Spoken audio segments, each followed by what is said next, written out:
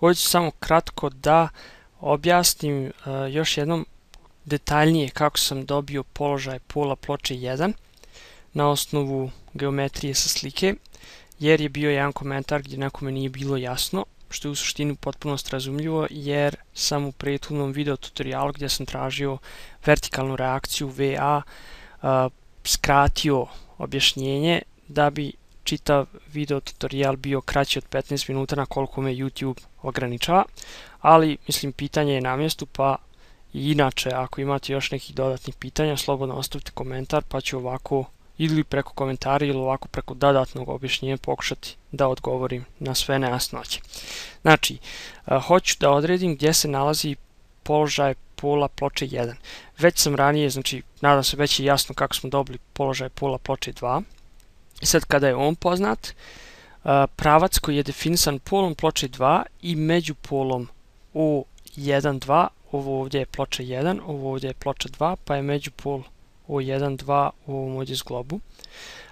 I taj pravac nam definiše, znači pol ploče 2 i među pol u 1, 2 definiše položaj pola ploče 1 i to je ovdje naznačeno. Dalje, pol ploče 1 se isto tako mora nalaziti na pravcu definisanom polom ploče 3, evo je ovdje, i međupolom O1, 3, a to je ovaj zglob ovdje, to je znači zglob u kom su vezane ploče 1 i 3. Znači, ova dva pravca definišu, znači gdje se oni sjeku, definisan je položaj pola ploče 1.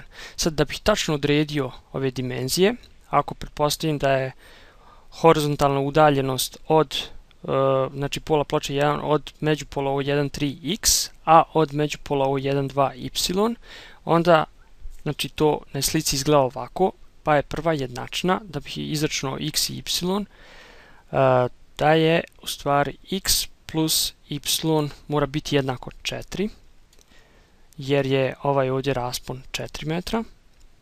Druga jednačna, dobijam, znači, uh, moram izrasti u ovdje visinu na kojoj se nalazi, to jest vertikalnu udaljenost pola ploče 1 od ovog ovdje poteza štapova.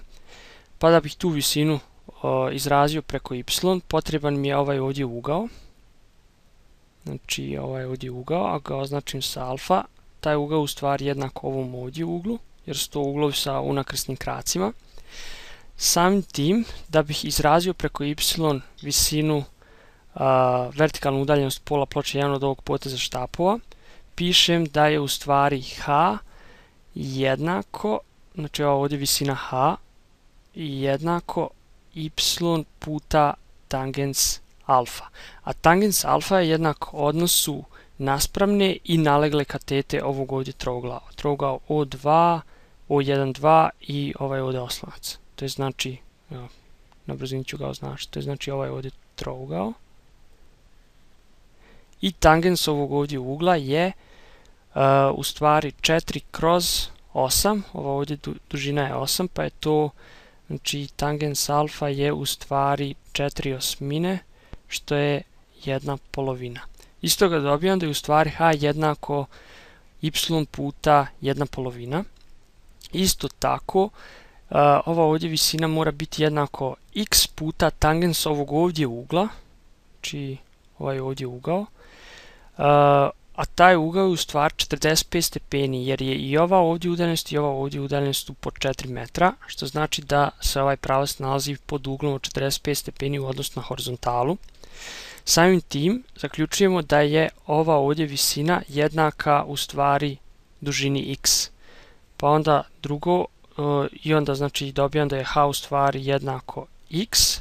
Iz ove dvije jednačne kada ih izjednačim dobijam našu drugu jednačnu preko koje ću dobiti x i y, a to je da je uh, jedna polovina y jednako u stvari x. Iz ove dvije jednačne dobijam kada recimo vrijednost x preko y, funkciju od y uvrstimo u prvu jednačnu, dobijam da je jedna polovina y